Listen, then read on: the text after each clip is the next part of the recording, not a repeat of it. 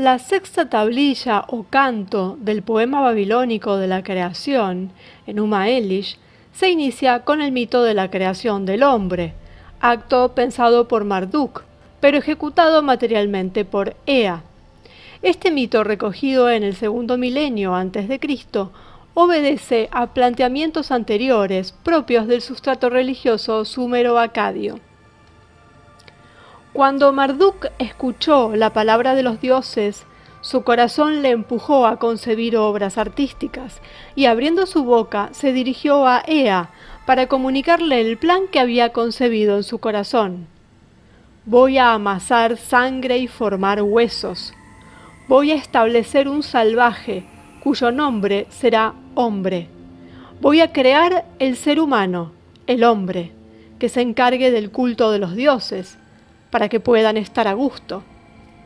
Yo transformaré diestramente los caminos de los dioses, y aunque reverenciados por igual, se dividirán en dos grupos. Ea le respondió diciéndole estas palabras, contándole un plan para el apaciguamiento de los dioses. Que uno de sus hermanos sea entregado.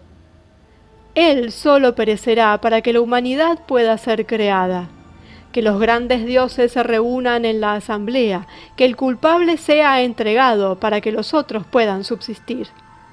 Marduk convocó a los grandes dioses a la asamblea, presidiendo benévolamente les dio instrucciones, a lo que decía los dioses prestaron atención.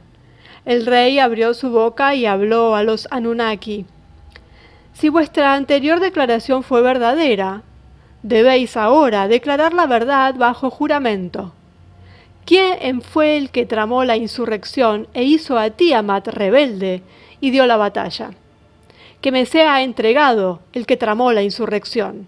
Voy a hacerle responsable de su delito para que vosotros podáis vivir en paz. Los Ishishi, los grandes dioses, le replicaron a Lugaldimencaría, consejero de los dioses, su señor. Fue Kingu el que planeó la insurrección e hizo a Tiamat rebelde y dio la batalla. Tras haberle atado, lo llevaron delante de Ea. Le impusieron el castigo y separaron su sangre. Con su sangre modeló la humanidad. Le impuso el servicio de los dioses para dejar a estos libres. Después que Ea hubo creado a la humanidad, impuso sobre ella el servicio de los dioses. Esta obra es imposible de concebir. Fue por la ingeniosidad de Marduk que Nudumid lo llevó a cabo. El resto de la tablilla se dedica a la división de los dioses en dos grandes grupos, a la edificación de un santuario para Marduk y al establecimiento de las relaciones entre los dioses y los hombres.